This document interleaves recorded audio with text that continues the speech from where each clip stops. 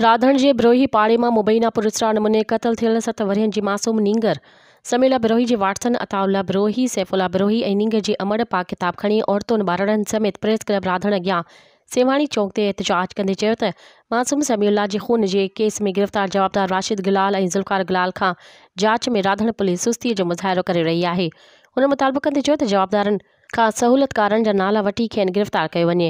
होॾां S H O राधण मंज़ूर मस्तूरी राब्ते ते त जवाबदार गिरफ़्तार आहिनि, अदालत खां रिमांड वरितो आहे, वधीक जाँच करे रहिया जुज़ा लेबोरेटरी मोकिलिया विया आहिनि। पुलिस केस में का बि कोताही नाहे कई। मुतासिर धुर सां मुसलसल ताउन में रहिया आहियूं। जवाबदार तफ़्तीश हेठि तमामु जल्द इन केस जे हवाले सां मीडिया साम्हूं अची बयानु रिकॉर्ड कराए वेंदो।